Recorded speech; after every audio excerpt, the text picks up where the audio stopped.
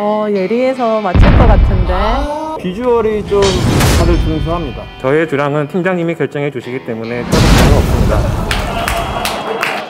얼굴도 이름도 모르지만 같이 옆에서 근무할 선배님을 찾는 시간 꼭 맞춰 주시기 바라겠습니다. 자, 그럼 지금부터 DK 히든 선배 시작합니다.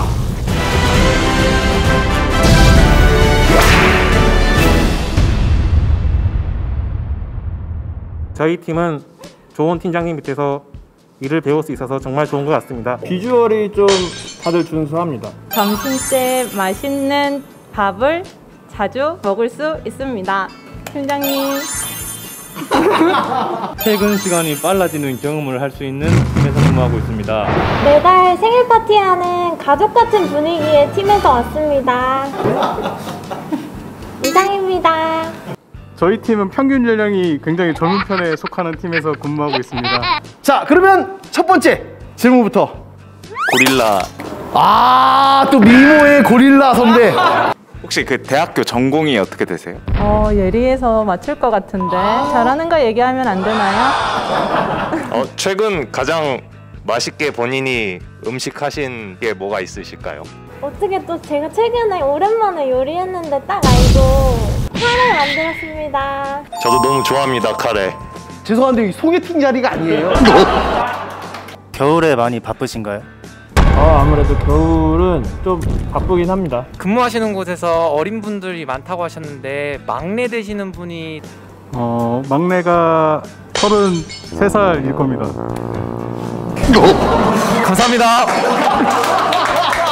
혹시 오늘 오실 때 어, 내려오셨는지 아니면 올라오셨는지 어 올라오다가 내려오다가 다시 올라갔습니다.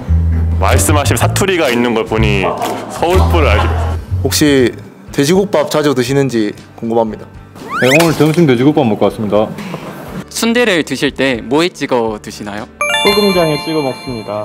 혹시 좀 뜨거운 곳에서 일하시는지 항상 뜨거운 남자라서 뭐 항상 네, 뜨거운 곳에서 근무하고 있습니다. 혹시 숫자 좋아하시나요? 네, 저 숫자 너무 좋아합니다. 가장 좋아하는 숫자는 7. 7. 아, 가장 좋아하는 숫자는 저요? 7이요.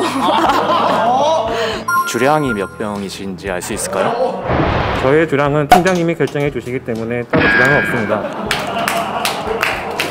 자, 주량이 어떻게 되시나요? 저 야옹이님이 결정해 주실 아! 야옹이님이 결정한 대로 팀장님의 제일 좋은 점 한 가지를 듣고 싶습니다. 어, 팀장님 칭찬. 저희 팀장님이요? 누구보다 젠틀하시고 인자하시고 누구보다 많이 하셔서 정말 배울 점이 많으신 분이고 주량도 정해주셔서 정말 고마우신 분이십니다. 자, 우리 신입사원분들 다 결정하셨나요? 하셨나요?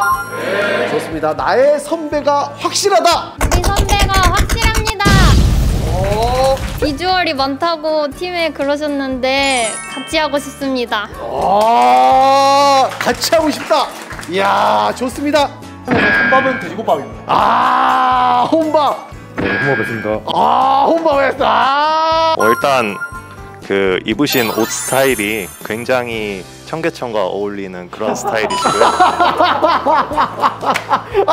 나오면서 인천 바다 내음이 느껴지는 것 같아서 확실한 것 같습니다. 아, 인천 냄새가 났다. 네 맞습니다. 바닷가 냄새가. 네 맞습니다. 이 선배님 얼굴 공개를 하도록 하겠습니다. 얼굴을 공개해 주세요. 박수 한번 주시죠. 예.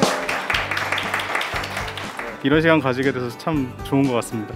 네, 이렇게 저희 팀에서 기다리고 있는 신입사원분들 이렇게 먼저 만나뵐 수 있어서 너무 영광이었습니다. 어, 일단 이런 자리에 제가 좀 다시 올수 있어서 너무 좀 재밌었던 시간인 것 같고 저도 뭐 같이 근무하실 분들을 미리 볼 수 있어서 좋은 경험이었던 것 같습니다. 일찍 그 신입사원 분들 만날 수 있어서 너무 즐거웠고 입사 축하드립니다. 되게 환영 많이 하고요. 앞으로 본사 회계팀에서 많이 뵙겠습니다. 2021년 하반기 공채 신입사원들과 선배의 만남. 자, 오늘 즐거우셨나요? 동국제강 사랑해요.